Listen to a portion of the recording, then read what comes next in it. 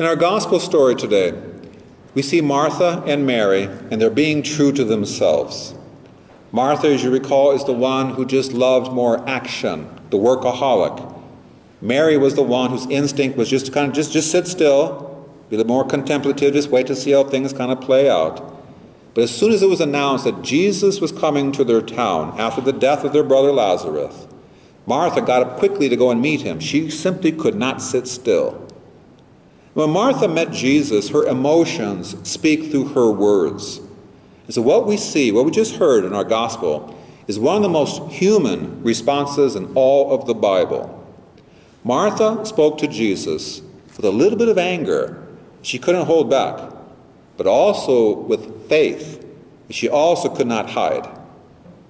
If you had been here, my brother would not have died. In those words, we see a pretty good picture of what Martha was thinking. Jesus, if you received the message that Lazarus was sick, how come you didn't come right away?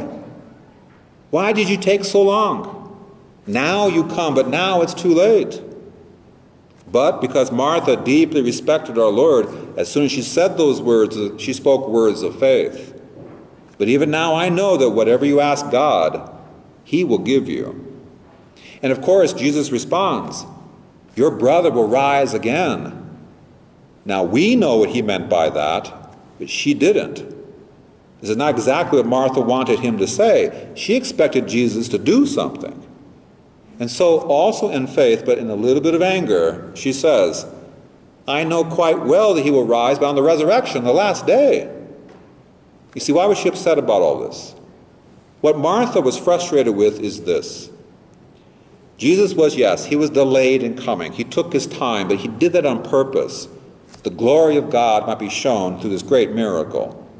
But also, secondly, try to remember that back in those days, for the people of the Old Testament, they really did not have a good, strong belief in any kind of life after death.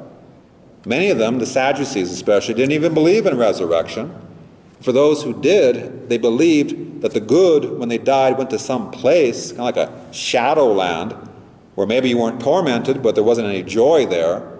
So Martha, she didn't have any comfort in this. But Jesus then says what's easily the most powerful words ever spoken in all of the Bible I am the resurrection and the life. Whoever believes in me, even if he dies, will live. And everyone who lives and believes in me will never die. What exactly does our Lord Jesus mean by this, though? Because one thing's very clear if you think about it Jesus was not talking about physical life, because strictly speaking, on a physical level, our bodies are going to die. Every single one of you here in this church tonight, there's going to be a funeral mass one of these days for you. Okay? We, we can't get around that. Okay? So the thing is, the Christian experiences death as well as anybody else. So if Jesus says, whoever believes in me will never die, well, it can't mean that. So there has to be then a deeper meaning here. So our Lord Jesus is getting at and saying that if we believe in him, we will not die. He's talking about the death that comes because of sin. As many theologians have pointed out over the years, what Jesus is saying is even if a man is dead in his sin, he has ruined his life. Even if through his sins all that he just loves in life is as lost, I can make him alive once again. Here is a real life example of how this works. Back when the 19th century was turning into the 20th century, in Japan, there was a man named Tokichi Ishii who was a notorious criminal and a murderer. He will kill anybody who got in his way men, women, even kill children, oftentimes in a very horrible manner. They caught him, and while in a Tokyo prison awaiting his death, he was visited by two Canadian women who were missionaries. And they tried to talk to him, but he treated them so poorly, as if he was a caged animal, just growling at them. They were unable to speak with him. But as they were leaving, they gave him the Bible. And he read it. He will later on say in a book written about his life, he came to the story about the crucifixion. And our Lord Jesus, there on the cross, and those powerful words of our Lord, when he said, Father, Forgive them, for they, they know not what they do. Those words broke through this man's very hard heart. And he would say, I was stabbed to the heart as if I was pierced by a five inch nail. Shall I call it the love of Christ? Shall I call it his compassion? I don't know what to call it. I only know that I believed, and my hardness of heart was changed. And later on, when he went to the scaffold to be hung for his crimes back in 1918, he was no longer a man full of hatred and evil. He was smiling, even radiant, on the day of his death. He literally had been given a new life in Christ. Jesus brought this man back to life even as he was facing death. Now, the scripture scholar William Barclay, he knew about this story. He said, it doesn't have to be so dramatic as that. A man can become so selfish that he is dead to the needs of others. Another man can become so insensitive, he is dead to the feelings of others. A man can become so involved in petty dishonesty, disloyalties of life, he is dead to all things that are honorable. And another man can become so hopeless, he's spiritually dead. But Jesus Christ can resurrect all of these men. You see, when Jesus told Martha, and then all of us, those powerful words, telling us at the resurrection, that's not just some kind of concept, it's not an idea, it's Him. He shows us that He's focused on the life to come. That physical death, well, that's not the final word. You see, St. Edward the Confessor, on the day that he was martyred, that he was killed for his faith, his last words were these Weep not, I shall not die. And as I leave the land of the dying, I trust to see the blessings of the Lord in the land of the living. He absolutely got it right. You see, so many people of today call this world of ours the land of the living. But in fact, that's not true. This world is actually the land of the dying. Through a life lived in our Lord Jesus Christ, we are on a journey not toward a sunset, but to a sunrise. You see, for faithful Christians, in a very real way, we're not on our way to death, we're on our way to life. And how does this happen?